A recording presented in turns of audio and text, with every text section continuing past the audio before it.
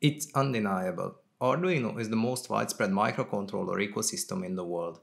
From hobbyists to the film industry, it's used everywhere.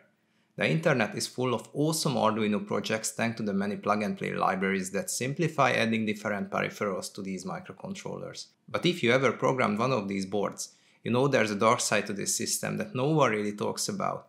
The first big Every time you tweak your code, you have to recompile and upload it to the board. I'm probably not the only one who's flashed the system at least 60 times just to fine-tune a PID controller. In the beginning, this might not seem like a big deal, but once you start building a more complex system, you will find yourself scratching your head wondering why your dream gadget isn't working properly. This brings us to the second major flaw, the lack of proper debugging. A very few Arduinos come with a built-in plug-and-play debugger. The standard approach is to print telemetry data to the serial port. But let's be honest, let's get messy really fast. Not to mention, constantly reporting system status can slow down everything significantly. Now you might say, but what about more advanced boards like STM32 Nucleo series, Raspberry Pi Pico or ESP32 which supports JTAG debugging? Sure, but there's a catch. When you hit a breakpoint, your code stops running. In some situations like robotics, that's simply not an option. If the software pauses even for a tiny moment, your moving hardware could become unstable. My name is Daniel, and in this short video, I'm going to show you a solution for both of these problems. But first, let's quickly talk about why this is such a unique challenge with microcontrollers. Unlike regular computers, microcontrollers pack the processor, memory, peripherals into a single chip. Since these devices are small and inexpensive, they don't have much memory. The amount of memory available dictates how can you approach programming them. For example, dynamic memory allocation is basically a no-go when you only have 2 kilobytes of memory. So, we need a solution that's lightweight, has minimal CPU overhead, and still allows us to manipulate and diagnose the hardware in real time. To achieve this, we will be using two libraries. The first one will be Commander API, which is a tiny and resource-efficient command parser. In a nutshell, it creates a bridge between a string and a command in the C++ domain. The second library that we will be using is Shellminator, which is a terminal interface that provides a more modern command line experience acting as a bridge between the user and the command parser. Let's quickly install these two libraries using the Arduino Library Manager and while the libraries are being installed, I would like to briefly touch on the Shellminator documentation. Everything I explain in this video is truly detailed in the Shellminator documentation. For example, the creators have provided an interactive demo that you can try directly in your browser, making it much easier to understand what each feature does. Additionally, the full source code for each example is available at the bottom of each page, so you can simply copy and paste it into Arduino IDE. Now let's get back to coding. For simplicity, let's open example 200 from Shellminator's examples and create a copy of it. In this video, I will be using the Arduino Uno R4 Wi-Fi board. Let's compile the code and upload it to the board.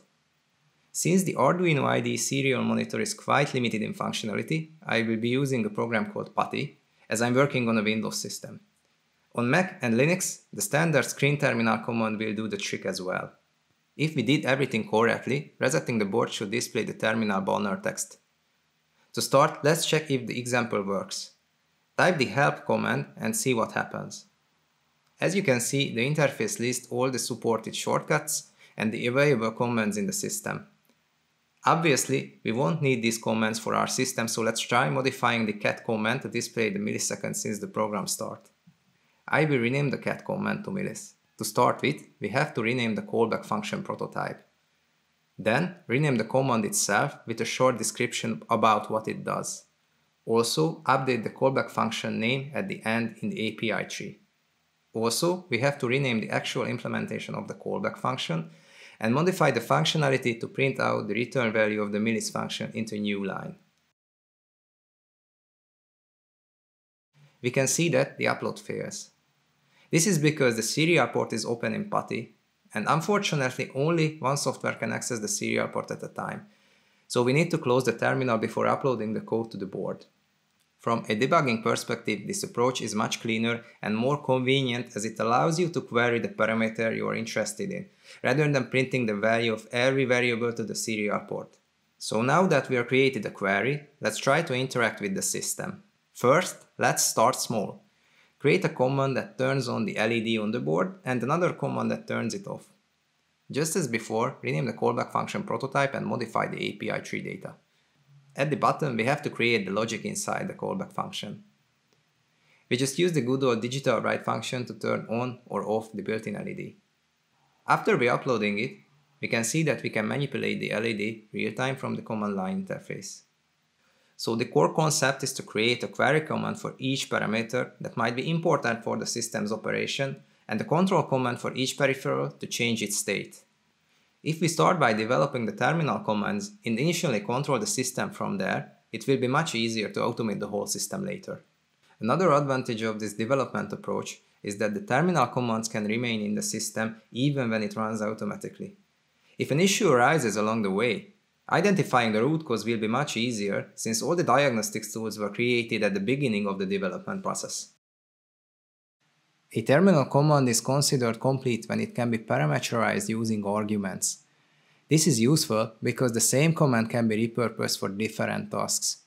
An argument is essentially a C string containing various useful information. From the string we need to extract the required argument and the value for it. Fortunately, the Commander library supports a wide range of argument handling methods. Detailed description of these can be found in the Shellminator examples, starting from example 202. Let's look at a simple example. We want to take an analog sample using the ADC through a terminal command. In the Arduino system it is easy, this can be done using the analog read function which takes an argument, which is the ADC pin. Our goal is to create a terminal version of the analog read function, where the pin number is provided as an argument. As usual, we first need to define the callback prototype and configure the API tree.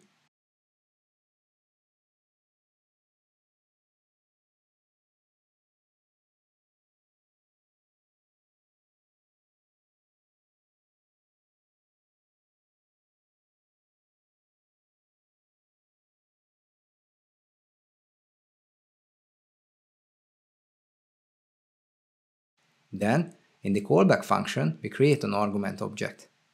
Since we only need one argument, we define a position-dependent argument that attempts to process the first provided argument. Once retrieved, we try to extract its value.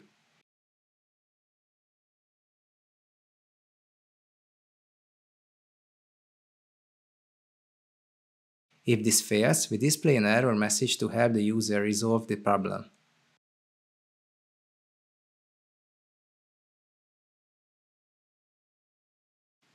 If successful, we read the ADC result from the specified channel and print it to the console. Let's try it. I hooked up a potentiometer to analog pin 0, and when I rotate it, I can see that the analog read function works from the terminal interface.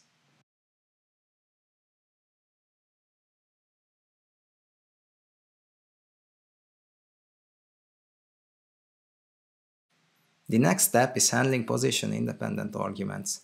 One thing that always bothered me about the C language is that the argument order is fixed.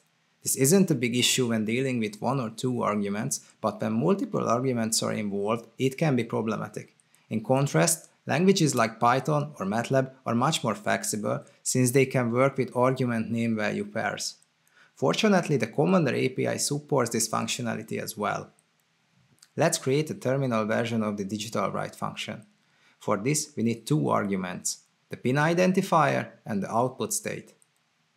As usual, we start by defining the command and filling the API tree.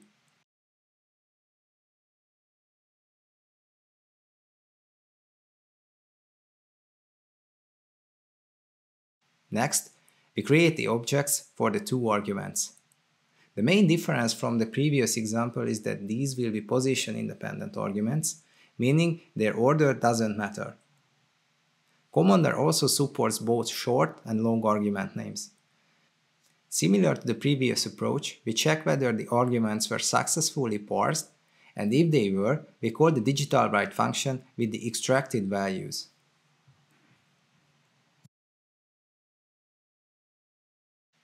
Let's give it a try.